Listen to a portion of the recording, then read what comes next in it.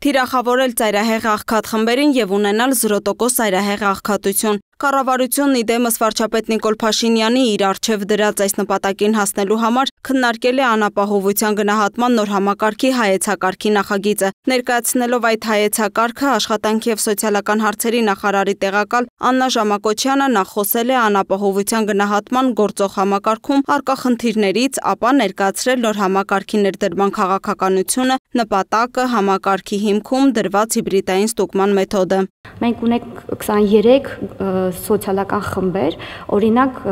հաշմանդամության առաջին խումբ ունեցող անձին տրվում է 48 միավոր,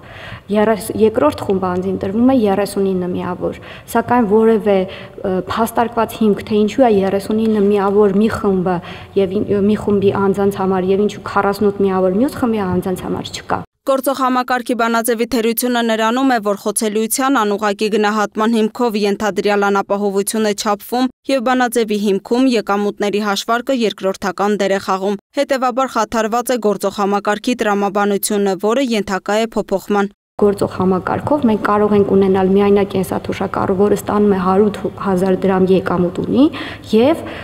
կարող է նա դառնալ նպաստառու։ Բանաձևը այդպես է աշխատում։ Նոր մեթոդի միջոցով նպաստի իրավունքը որոշվելու է ընտանիքի կողմից տնորինվող եկամուտների հիման վրա։ Որպես նոր համակարգի թիրախ ըստ Աննա Ժամակոչյանի վերցվում է մեկ անչափահաս անդամին հավասարեցված անդամի հաշվով նվազագույն պարենային զամբյուղից ցածր ամսական եկամուտներ ունեցող ծայրահեղ աղքատ ընտանիքը։ Հիմա մեր նոր համակարգով ով է մեր նպաստ ստացողը Մեր նոր համակարգով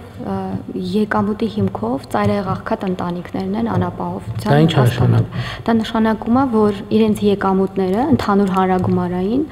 անձի հաշվով, ընտանիքի մեկ անդամի հաշվով չի գերազանցում նվազագույն բարենային զամբյուղը։ Այսինքն 36029 դրամը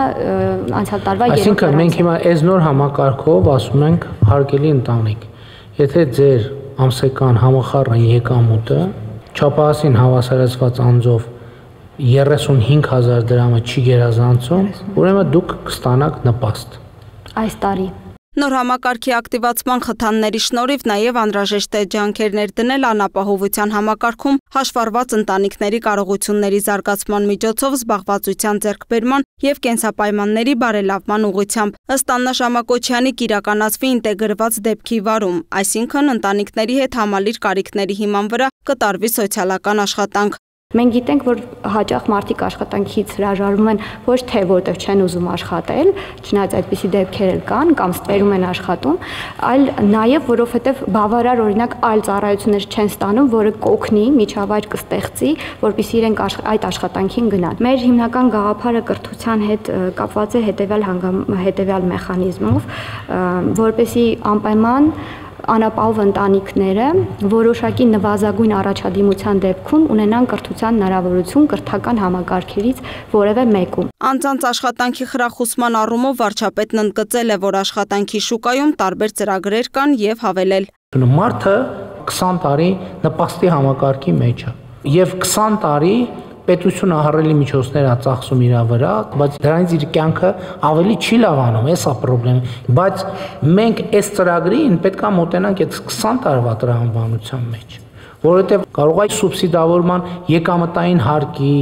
այլ ծրագրերով մենք իրան ուղեկցենք,